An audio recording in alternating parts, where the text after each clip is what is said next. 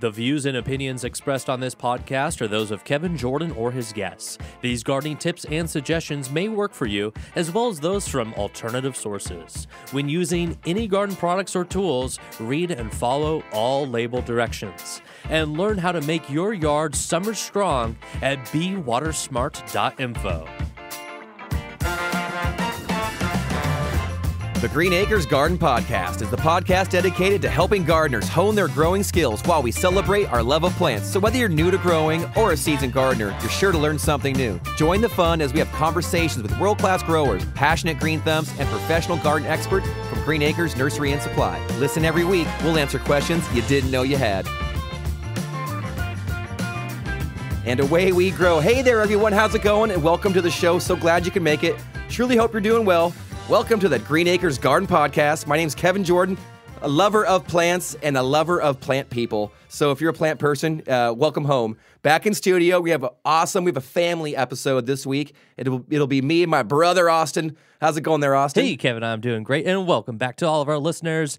Uh, you said it's a family show, is that? Yep, fam- we got a family episode, so Nice. uh, we are going to be just me and you in house, but having a great talk uh, nonetheless. A wonderful episode to talk all about pollinators, uh, how we the, different types of pollinators, uh, how we can lure them in, different methods for basically maximizing our, our potential in our gardens to support them. Uh, really, we're talking about how to grow a pollinator buffet in your own garden. so like we're going to have some fun, and I think people will be surprised. We talk a lot about you know bees and things like that, and we'll get into bees. We love them, but there's so much more when it comes to pollinators. So I love it. We're gonna have a great episode. But before we get into it, I kind of want to share something with you, Austin. Let's go. Let's go. So I went on a little bit of a, an adventure yesterday. I went up to the the Big Tree State Park uh, out there in Arnold, California. yeah. Beautiful countryside out is the heart of the Sierras. Very cool. Uh, I got to see something cool, Austin. I did I- a thing. Okay, what did you do? I, I saw the world's most massive trees, dude. And I loved it. I got to see the giant uh, sequoias. Uh, so it's massive. I mean, over So 300 feet There's tall. one there. It's got like a cool name, like Sergeant something. Is that is that the Uh, one you They're saw? all over California, eh, but it's really cool though, and sad in a way. You'll see different ones that ha- do have different names, and the one that stuck with me the most was the mother of the forest. What, what's that? It was a a beautiful tree? It, it was a tree. It was a beautiful, beautiful uh, giant sequoia, and gosh, I think in like uh, the early 1900s. Ooh, so it's like well over 100 feet. Oh, it's huge. No, it was over 300 feet. Uh, Oh but my people gosh. came in and they they debarked it. What? They they they stripped off the bark and kind Ow. of in huge sections. People worked on it to dig off the bark and strip it, and then they would take it around to like carnivals and fairs to show it off to people because it's such a big Oh. tree. I mean, the diameter at the base is huge. So, so- Okay, so, so these aren't the tallest trees, but they are the most massive. That's a weird use. Yeah, and it ended up killing the tree. So all I saw Oh, no. was like the living, or not even the, the dead skeleton, the remains, but they're still kind of vertical, semi burnt. It was sad. But the rest of the trees there, I don't want to get into get it all negative. Let's get positive. The, the Big Tree State Park was phenomenal. Uh, Yeah. And it, you, you go on this little mile and a half long hike. It's very easy. I, I suggest it to anybody if, if you can, if you're mobile, do it. Uh, it was beautiful. And there's I mean, a couple dozen of the most massive. Uh, actually, the, not, not just the most massive trees, the most massive living things on the planet. So single, cool. like the, yeah. So as, as a single organism, it doesn't get any bigger than these. They are the right largest. here in our backyard. For I sure. love that. I've And- been there a couple times, and I I love being out there. It's beautiful. You're right. Uh, those they're very impressive. Those trees. It was really, yeah, it was awesome to see. When I was out there, actually, I started noticing they had a lot of native plants out there, and they had some plantings. I saw some native creatures buzzing around, and it got me thinking. We got to talk about pollinators. All bud. right, let's talk pollinators. So pollinators, um, they're those creatures, the organisms that visit our, our flowers for food. They sometimes they'll even go there for mates, shelter, nest building materials, what have you. Uh, these can be, like I said, not just bees, but ants, bats, beetles, birds, butterflies, flies, moths, uh, wasps. And in some regions of the world, not so much our backyard, but in some regions of the world, you'll even get mammals like lemurs, uh, honey possums, or, reptiles like lizards and geckos and skinks that can be pollinators. So I was Wow. doing research. There's a skink that crawls up into a blossom of a tree in the jungle, and as that tree grows and develops nectar, the skinks they slurp out the nectar.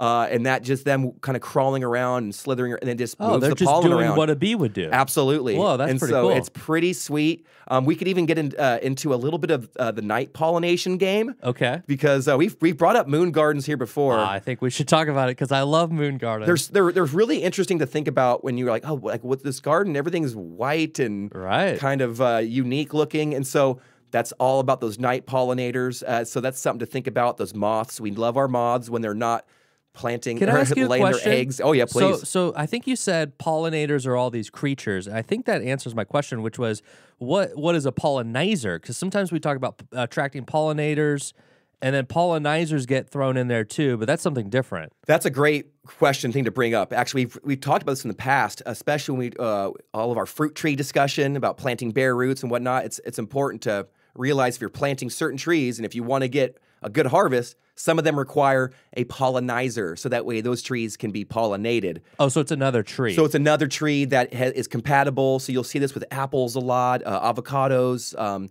cherries a bunch, uh, and so on. And a tree will grow, and it's if it's not self-pollinating on the tag, it'll say requires a pollinizer. And then usually you'll get a list of um, some good options to start with. Uh, yeah, and so so pollinator and pollinizer, different things, but same game. Gotcha. It's all about you know getting that fruit. spreading the love. Absolutely, dude. You said it, buddy. Your words, not mine. All right, so we definitely want to attract pollinators, and that's something we can do based on what we plant, right? But f- before we even get into that, you already listed out some cool creatures that Yeah. do pollinate, and I'd never heard of ma- mammals doing it. That's super cool. But you said ants? Yeah, absolutely. Even ants do it. Th- There's a, a lot of flowers that are specifically ant pollinated, and No that's way. that's just the way they get down. And uh, the flower, it's just coevolution. These creatures uh, and these plants have spent you know hundreds of thousands, millions of years, uh, kind of working and living simultaneous, you know, cohabitating in the same space, and it's they've kind of worked themselves into a nice little niche. And so, uh, absolutely, you'll see ants all the time. Uh, pollinating specific plants. Hmm. Um, that's it's pretty rad. I'll see this a little bit on some of my even my um, dragon fruit. I'll see some some ants Oh. going in there. So it's it's kind of fun to see that. Usually, you know, you in the garden, you go, "Oh, ants bad."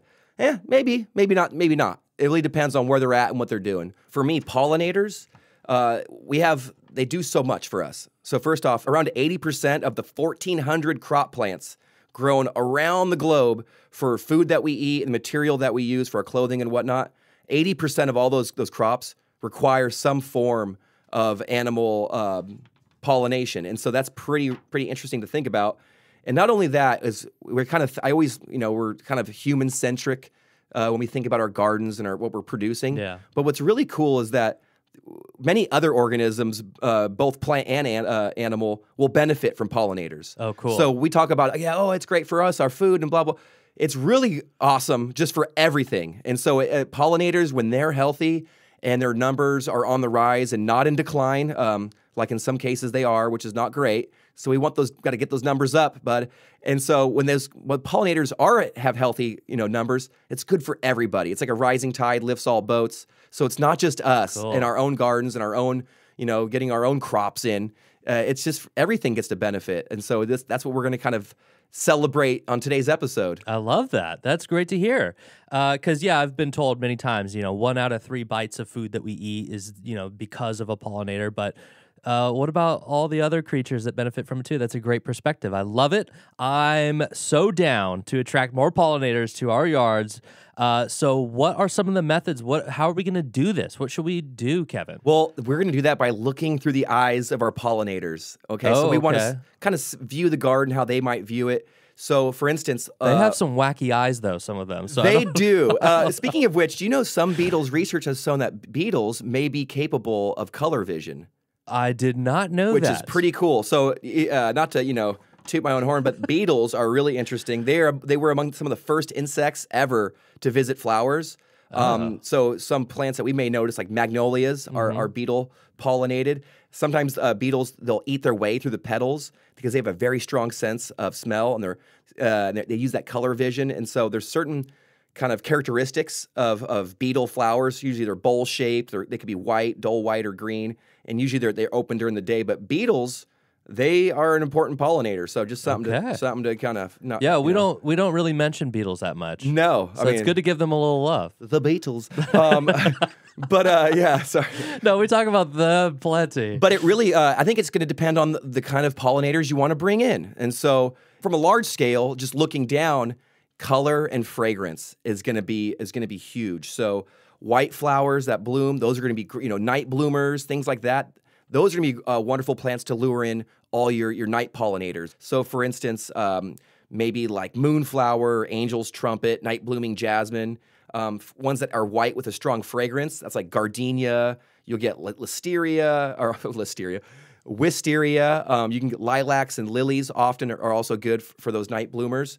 But it, really uh, because they're going to be popping and blooming either fragrant or colorful at night. So uh, the ones that are fragrant and colorful during the day are going to attract different types of pollinators. So depending cool. upon what you plant is really going to uh, affect what you lure into your yard. So it's kind of fun. That buffet can be one that a gardener creates um, very specifically for what they, they hope to kind of lure in, and it's really up to up to where you're at and what you where you live and So maybe what you, you want to bring see. the moths in at night. That's cool. I think that reminds me of it must have been Stephanie Bittner was talking about flowers are fragrant at different times of the day and therefore attract different insects. That's so cool. And I, I'm curious though if um, so I just let some of my basil bolt and it's blooming. Oh, yeah. beautiful white flowers. It was recently mentioned. I forget when that that would be a good thing to attract amazing bees. one. It's on my list right Oh, today. is it? w- okay, yes, so sir. so I'm doing that right now. Yeah. I got my basil going. It's fun. Yeah, I always leave a little bit of basil and just let it bolt, and then just Yep. as long as I have enough to kind of keep cutting and eating. Yeah, but I've uh, got two plants. So one's doing that, and the they love one, them. Those spikes come up. Like you said, those little white flowers, uh,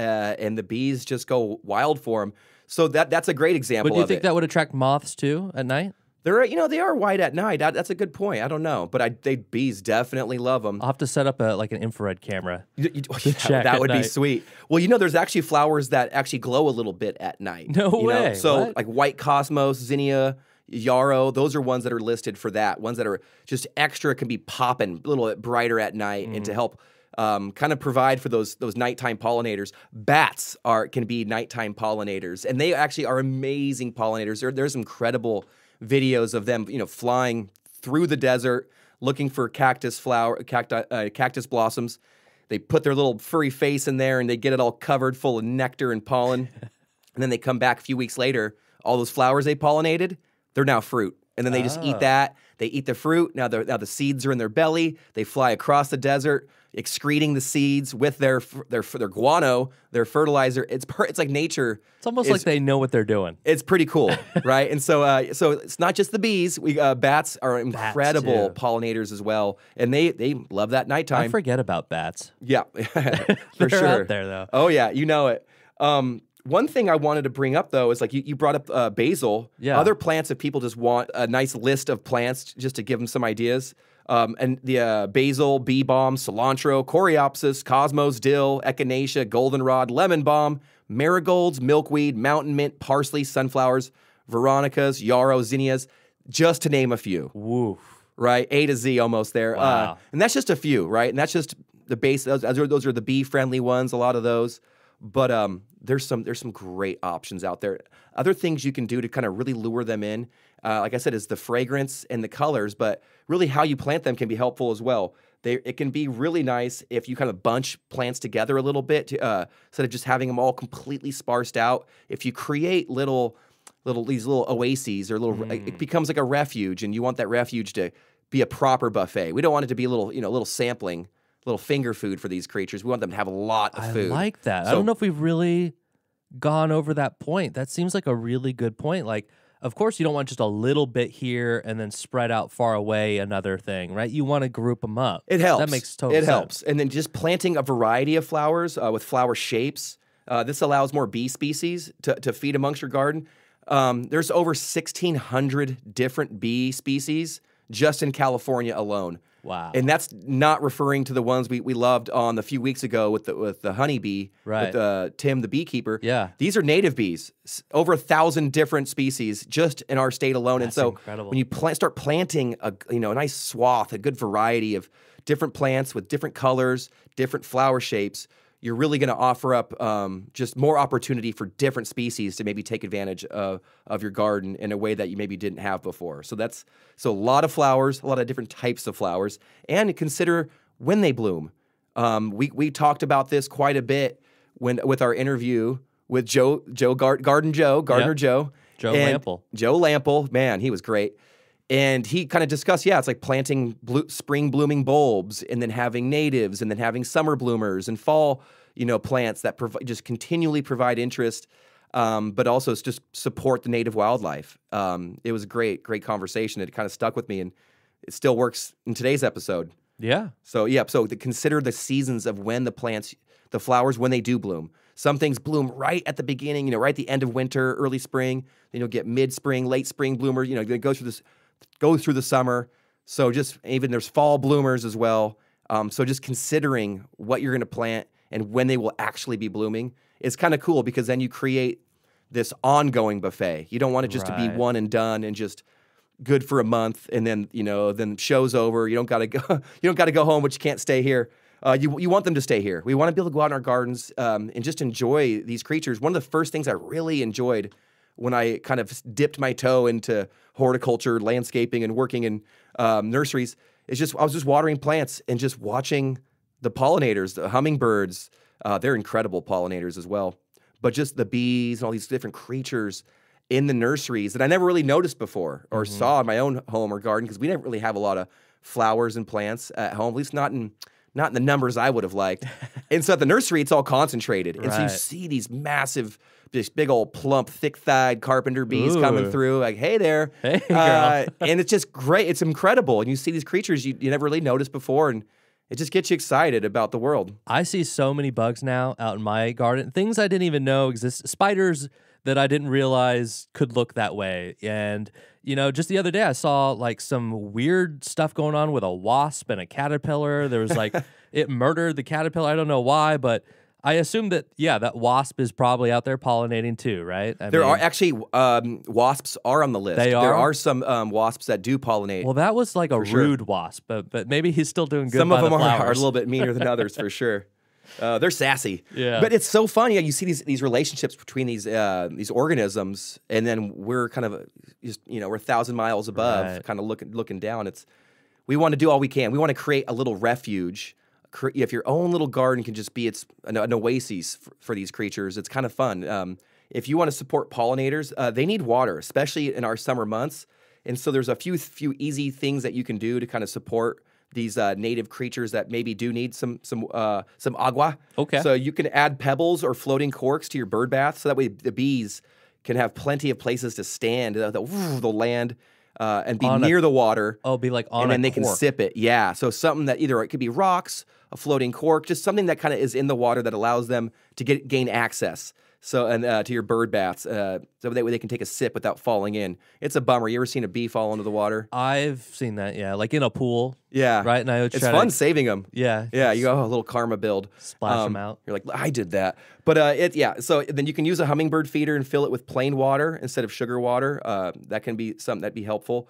You can fill a shallow container, such as a saucer, with water. You can add pebbles or marbles to the bottom for the bees to stand on, so you can make your own. Uh, they call it a pebble tray or whatnot. And uh, or you know, some people even get uh, creative with like a self-filling pet bowl, and then do the same thing. Throw a couple, Oh, there we go. couple little cobbles in the bottom, and then just kind of fills up to a certain height, and uh, bing, bang, boom, you're you're good to go. So it's you never really think about it. We're we're very uh, blossom centric, but even just a simple thing is adding a little bit of water out in the garden um, can be helpful. We talk about in the fall and the winter about not cleaning up too much because there's a lot of these species. It's really interesting. They will they will overwinter uh, in like the, the leaf litter. I know the beetles really seem to like that kind of stuff. When I've got like loose stuff in the yard, or I pick up a brick, or you know, there's always like seems to be. Like, "Hey, I'm under here." Yeah, there's Yeah. always some little beetle down there. Oh yeah. Ooh, here's an interesting fact, Austin. This is a night pollinator creature that you probably wouldn't think is a pollinator, you, and you would probably think it's a fly. Okay. But check this out. So the luminescent firefly, they're actually beetles, not flies. Okay. But a good firefly is really interesting. They have a longer lifespan than most insects, and they actually will spend several months underground, just in the leaf debris of a forest, just kind of hanging out, waiting until it's nice and warm. And then, oh, it's summertime, time to go mate. Oh, and so it's pretty interesting. And those are that's a night pollinator as See, well. that's what I'm saying. Such a beetle move. Yeah, very beetle. What's in beetles are nuts. One quarter, so about 25% of all the creatures on the planet are a beetle. No way. That's how many beetles there are, how many different species of beetles. So out of, out of all the species on the planet, a quarter of them are beetles. oh my goodness. So they're they're very diverse uh, and they're Where are they widespread. yeah, Jeez. They're, you ever seen the dung beetles? They're they're Oh, ha- hard at work. oh, boy. So they're good and they are wonderful pollinators. So we definitely want to take care of our beetles. Okay, well, I love those beetles. So, Kevin, I don't know if we've mentioned birds yet. I know we always want to attract um, the insects, the bees, the butterflies, those are the big ones, but uh, sometimes we talk about hummingbirds too. So, how do we attract the the birds? I love birds. Uh, I'd rather have them in my garden uh, nibbling my flowers, I guess, then my fruit. So Yeah, uh, give them give them a buffet. Uh, there's over 2,000 bird species globally that feed on nectar or the insects and the spiders associated uh, with nectar-bearing flowers. So there's a lot of different birds across the globe that actually can be considered a pollinator. Um, they're very important for us. Here we have hummingbirds. If you go out to Hawaii, you're gonna get the honey creepers and honey eaters. All the way down in Australia, those are also important pollinators for those regions. So birds, they they make up a good a good section of pollinators. And so for bird flowers, if you're looking just in general, um, just for um, characteristics or morphology, uh, that maybe kind of will go, ooh, maybe maybe a bird might like that. Here's it is. There's tubular. They might have tubular uh, petals that are like kind of curved and out of the way. Uh, it might be funnel shaped or cups. Usually they'll have strong supports for perching, so a little branching there. Uh, oftentimes you'll see the flowers are going to be brightly colored, a lot of reds, a lot of yellows and oranges. Whereas the bees, um, they like some of that, but they're also really into like the blues and the purples and the lavenders. Uh, birds are also bright, uh, really into like the odorless. They don't really need. They don't. They have a poor sense of smell, so fragrance really isn't going to do a whole lot for them. Whereas the insects uh, are like, whoo, oh yeah. Uh, Interesting. Birds also like they're typically into um, flowers that are usually open during the daytime, so day day bloomers, and they they can be um, the prolific nectar producers. Uh, they are prolific nectar producers with nectar that's deeply hidden. So when they if they can get in there, if it's difficult for other creatures, sometimes they have a uh, a better chance. Wow, it's so cool in- and interesting to hear about the different ways these flowers are doing their business to attract different things. Like, so the shapes of flowers are part of it, the perchability, the colors too. It's this is fascinating. Yeah, and you brought up hummingbirds. They're a huge chunk of it. I love them out in the garden. Personally, uh, the salvia are just incredible uh, lures for like a magnet for hummingbirds. But uh, the red hot poker, Kniphofia, spelled with a K, um, hardy plant, rugged. The leaves aren't much to look at, but man, those flowers are killer. It looks like almost like an ornamental grass until it blooms, and you're like, whoa, that's like a super ornamental grass. And then the hummingbirds just come down, and that plant doesn't get very tall. So that way, when the hummingbirds do come down, you're sitting on your patio, they're eye level, man. They're, it's it's so cool. So there are some plants out there that you can truly, if you just plant them, for me, they're better than a hummingbird feeder. Like a, a, a hmm. good feeder's cool. You'll see that, and then you get a good view. You fill it up, clean it, whatever. I'm into that as well. But I'm telling you, if, if you if you want a sustainable approach to luring in hummingbirds, pl- plant the salvia, plant the sage, plant the kniphofia, and there's there's a few more other varieties out there that I think you can have fun with for hummingbirds. Cool. I actually have a list of some other varieties. So, Oh, yeah? So there's this link. I'll put it in the uh, episode description. It'll take you to Nice. uh, this article from Green Acres called "Grow a Pollinator Buffet," and in there there's some cool, really you know beautiful pictures and factoids. But then there's uh, some lists of plant favorites for all these different categories of pollinators. So if you're looking to attract specifically a hummingbird, uh, the what is it, Kniphofia? Kniphofia. Kniphofia, or there's all these other options available that they list out. And then there's a list for attracting bees, and then there's a list for attracting butterflies as well. So, uh, whatever you're looking for, check that out. oh, that's a good resource. Yeah. For sure. I love it. Yeah, I hope uh, our listeners feel inspired to attract some pollinators. Get out there, maybe find some plants that they don't have, or uh, get some more that are working. Whatever you're doing out there, I hope we're, um, you know, just being mindful of all those those creatures and critters out there that are doing their amazing work. Absolutely. They are doing some amazing work, and a lot of it just goes unseen. And so, if we can do anything to support them, I'm, I'm all for it. And there are some plants out there that, like I said, they are like magnets. They they produce so much for these plants, the nectar, and you know that pollen getting stuck to them. It's just it's like nature doing its thing. Uh, What's like the nectariest plant that you think Ah, of? that's a great question. Um, ooh. One like dripping with Well, one that. I, I mean, personally, honeysuckle. Um, Oh. and hum, you know, hummingbirds and you know are all about that I too. but uh, for me, I go on walks and I'll kind of kind of pull little pieces off smell and it. just Yeah. suck that nectar right out. Uh, and so that's one that I kind of have a good relationship with. Okay.